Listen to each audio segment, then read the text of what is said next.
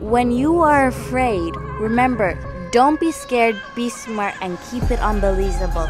And make sure you subscribe and follow underneath. We encourage you to do that.